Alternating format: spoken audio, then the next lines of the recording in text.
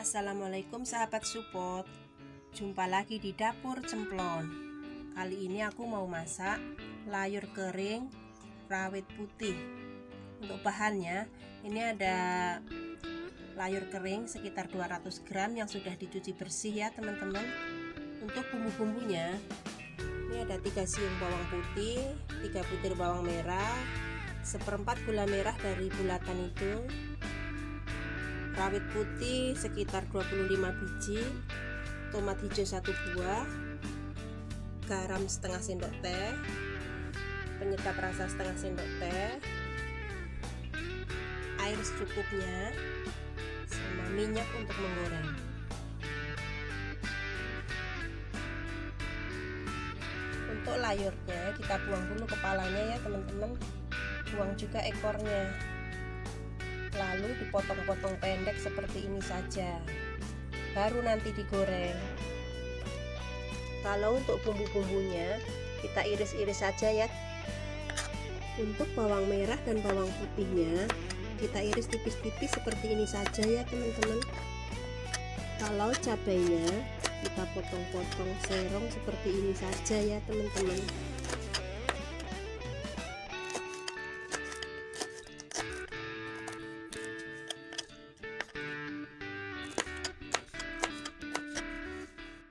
Begitu juga dengan tomatnya kita iris tipis memanjang saja ya. Kalau untuk gula merahnya kita cincang seperti ini saja ya teman-teman supaya mudah larut. Bumbunya sudah siap semua, sekarang tinggal cara memasaknya. Pertama kita goreng dulu layurnya ya teman-teman.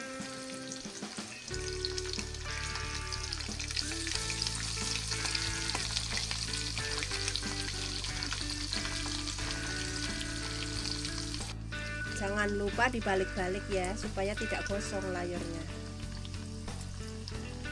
setelah matang angkat dan tiriskan.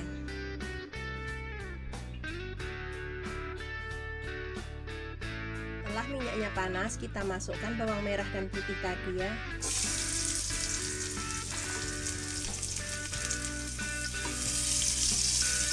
Setelah bawang merah bawang putihnya harum lalu masukkan cabai putihnya yang tadi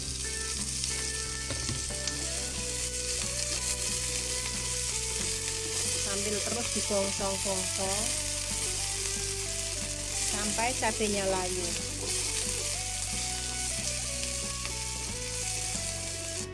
Kemudian masukkan tomat hijaunya.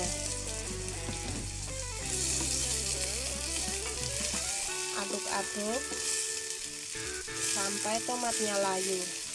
Setelah tomatnya layu masukkan garamnya. Masukkan juga bubuk penyedapnya. Aduk-aduk biar tercampur rata. Kemudian tambahkan gula merahnya.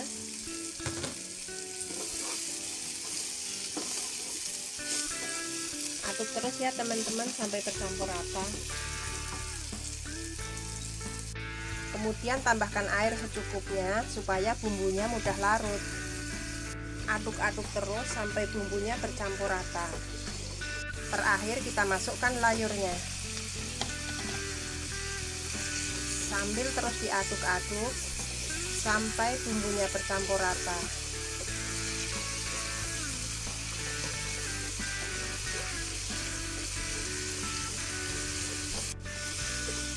Setelah bumbunya meresap baru kita matikan apinya Ini dia layur kering cabai putihnya sudah matang.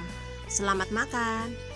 Jangan lupa ya teman-teman, like, subscribe, komen, dan aktifkan tombol notifikasinya supaya kalau ada video baru tidak ketinggalan. Terima kasih.